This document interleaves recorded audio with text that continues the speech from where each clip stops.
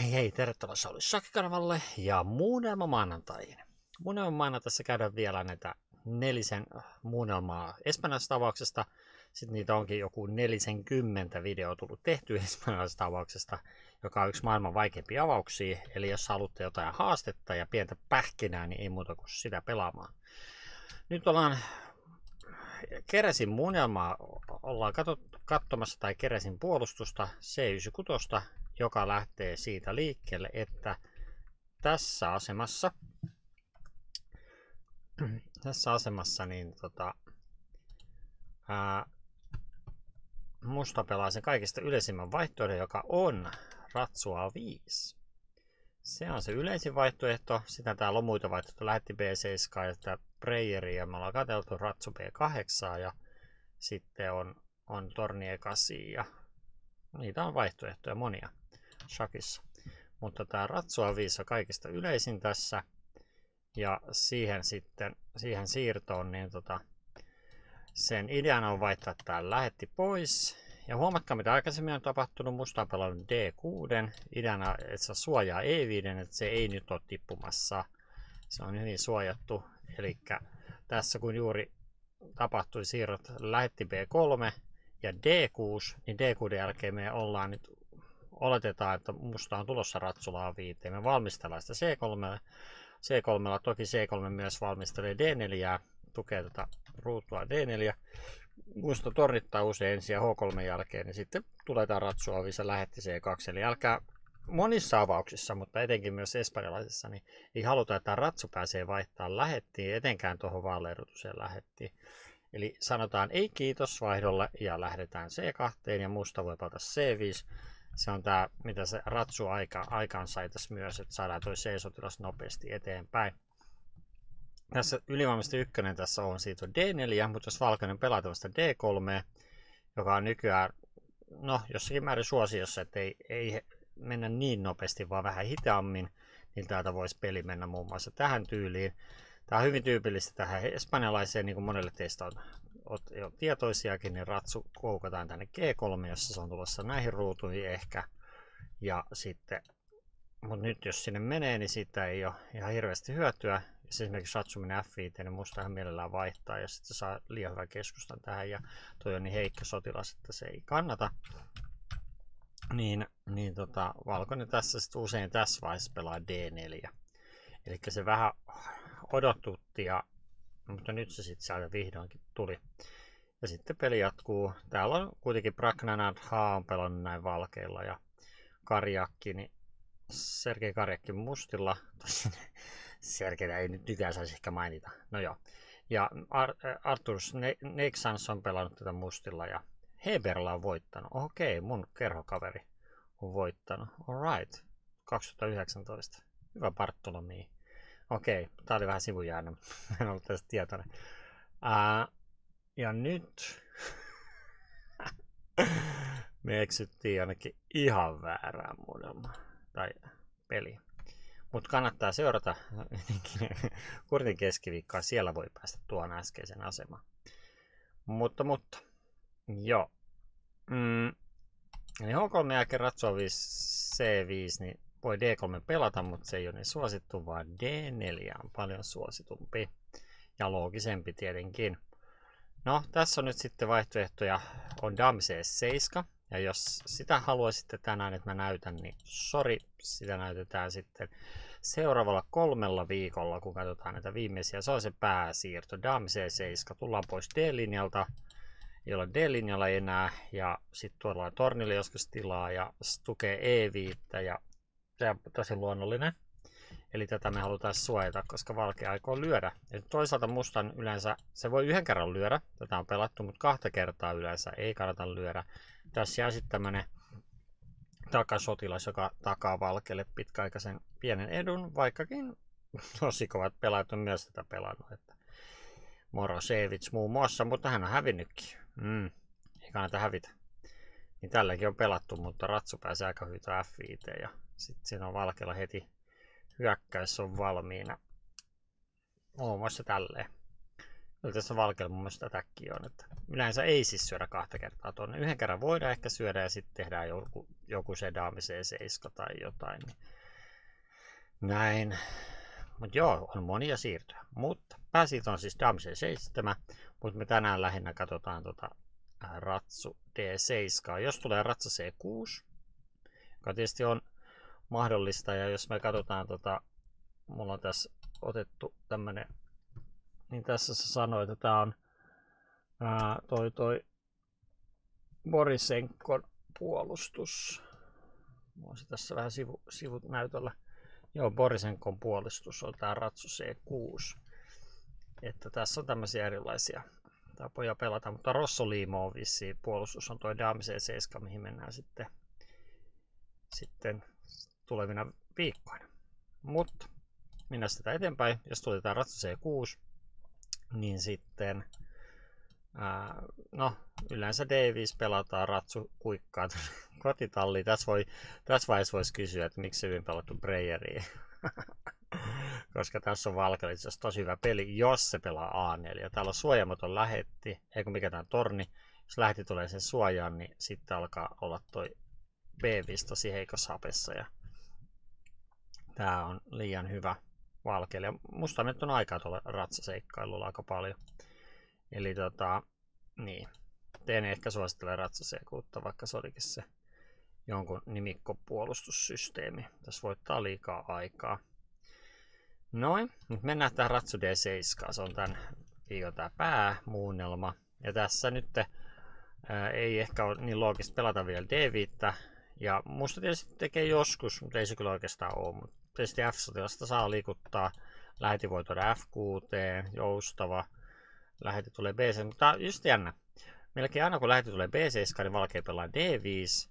Mutta jos D5 tulee ennen sitä, sitä niin sitten se lähetti usein on parempi tällä diagonaalilla. Tässäkin tulee munelmia, jossa sitten, jossa sitten tota, pelataan lähetti B7 ehkä D5 ja sitten musta myöhemmin pelaa taas lähetin C8.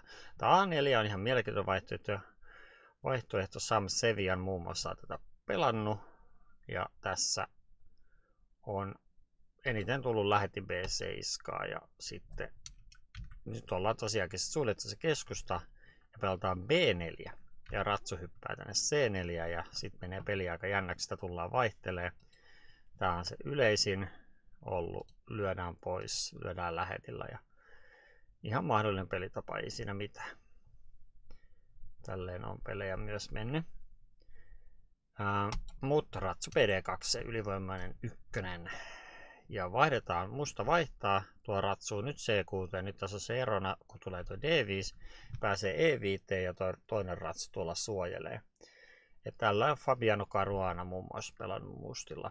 Alke pelaa A4, hyvin tyypillinen teema tässä espanjalaisessa yksinäisesti on lyödä, mutta toinen voi joskus olla, että tämä torni tulee täältä. Tullaan tulevina viikkoina varmaan näkemään ja ehkä katsoa yksi Kasparov ja Karpovi kuuluisa MM-peli, jossa sieltä tullaan. No nyt tässä Valkelia toi A-linja, mutta kysymys tietysti on, että mitä hyötyy. Mutta näin on mennyt vielä yli 200 peliä ja ei ole ihan turhia pelaajia. Ratsu tuoda F3 seuhkasta F4 tuon ratsulla lähetti H4 on tullut. Musta haluaa vaihtaa tuon niin sanotun huonon lähetin pois. Ja sitten valke on pelannut F5, ratsu hyppää E5 ja, ja sitten lähetti F4 tulee ja vaihdetaan tuo pois. Nyt tässä on tämmönen, että valkeilla on tuettu vapaasotilas, josta on tietysti aina kivaa loppupeleissä kuningatar väistää ja sitten C4 kuningas H2, H6. Tälle on mennyt jotakin pelejä vielä ja Valkella varmaan pikkasen parempi asema tässä. Et jotenkin mulla jää se kuva tuohon Ratsu D7, että tässä vähän jää Valkelle ehkä pikkasen parempi peli tässä Ratsu D7 muunnelmassa. Että ehkä voi olla, että se, se, se Daami C7 on sen takia aika luonnollinen, koska kuitenkin suojaa tuo Daami C7 ton tuon tota E5 jotenkin joustavammin. Mutta tällaista pientä tähän. Sitten voitaisiin katsoa tuosta esimerkkipeliä. Tämä onkin aika mielenkiintoinen esimerkkipeli, kun tämä on tämmöinen niin sanottu mm, sokkopeli. ja yritän kyllä kohta näyttää, ketkä tässä pelaa. Nyt olette vielä vähän sokkona siellä. Mutta tässä pelaa siis ihan kaksi maailman kuuluista, kuuluisin, kuuluisimmista pelaajista. Tässä pelaa Anish Kiri ja Hikaru Nakamura. Tämä Emberillä oli tämmöisiä Ember Blindfold kisoja, niin tämä on yksi niistä pelattu, pelattu 2011. Mä en tiedä mihin ne nyt on mennyt. Niitä mun on ollut vähän aikaa. Voi olla, väärässä. Kirjoittakaa tuohon mun YouTube-kanava viestikenttään, jos muistelette, että näitä olisi pelattu viime aikoina. Mä, tai sitten mä oon vaan missannut. Mutta tota, 20 kerta Monte Carlo Rapidia, eli blindfold. Ei nähdä siirtoja. Siellä on luultavasti pelattu tietokoneella niin, siellä on tyhjä ruutu ja siellä sitten aina välähtää, että mikä nappula liikkuu, mutta siellä ei näy niitä itse nappuloita ollenkaan. Näkyy vain ne ruudut mistä mihin. Ja Anish Kiri pelaa valkealla ja Hikaru Nakamura mustilla. Pelattu tuossa 12 vuotta sitten. Niin tota, tää on tätä. Ja nyt kun tulee D6, niin muistetaan, että nyt ratsu tulla vaihtaa tuon lähetin, tehdään sitten sen takia C3. Ja nyt kun tuli ratsoa 5, niin mehän lähdetään karkuun. Ja siihen toi D, C5 ja siihen D4. Ja nyt tulee tämä ratsu D7. Hikaru Nakamura pelasi tämän. Ratsu PD2 lyödään yhden kerran. Tämä onkin se tilanne, että no tämä kaikista suosituin on. Lyödään yhden kerran ja sitten tullaan tosiaan ratsulla C6 ja saadaan toi E5-ruutu tai halutaan se saada. Tässä valkoinen ei nyt sitä D5 pelannut, vaan pelasi ratsu F1 johon sitten yleensä ollaan lyöty. Yleensä lyötäis nyt, mutta sitä ei tullut tässä pelissä. Vaan tästä tuli lähetti F6 ja nyt tässä olisi tämmönen, jos olisi ollut tos, äh, tavallinen peli, niin varmaan olisi löytynytkin tämmönen aika kiva tuikkaus. Tää E5, no mitä idea, tämän lyönnin jälkeen se idea on, että lähetti E4, uhataan ratsuun. Ja sitten kun se suojataan, niin lyödään tuonne E5. Ja sitten, sitten tota, ideana on, että tuolla C6-ratsulla ei oikein voi lyödä, pitää lyödä täällä D6, se voidaan lyödä, täältä voidaan vaihtaa kuningattariin, ja kun lyödään lähetillä, niin sitten torni pääsee D7 liian hyvin, ja, ja tässä tulee tämmönen klassinen, uhrataan torni kahteen, tai vaihdetaan torni kahteen kevyeen, ja ehkä mua vähimmätytty, miksi musta piti vaihtaa. Jos musta lyö heti, niin sitten aa, sit käy toi läheti tippuu. Alright, no, näin ei voi siis pelata. Eli tuo E5 olisi ollut hyvä. Näkevien pelissä se olisi varmaan tullutkin, mutta tuli tämmönen vähän löysempi tämmönen blindfold-siirto, ettei tehdä mitään kovin radikaalia. Ja tämä peli jatkuu aika tasaisena. Ja Daamia 5 tuli, nyt tuli tämä E5 nyt, se ei ole niin hyvä. Nyt olisi pitänyt varmaan lyödä. D2, mutta tota, mutta, mutta mä en olisi pitänyt pelata ja ratsu lyö D4, niin tässä oli ideana, että jos tonne lyö F6, niin sitten lähetti lyö F3 on tosi hyvä siirto. Nämä on kyllä vaikeita. Miettikää sitten vielä blindfoldina, pitäisi näitä mietiskellä ja laskeskella, niin huh, huh kun näkevillekin on hankalaa.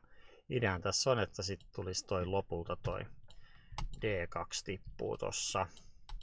Huotaa kuningasta ja lähetti. Huhhuh.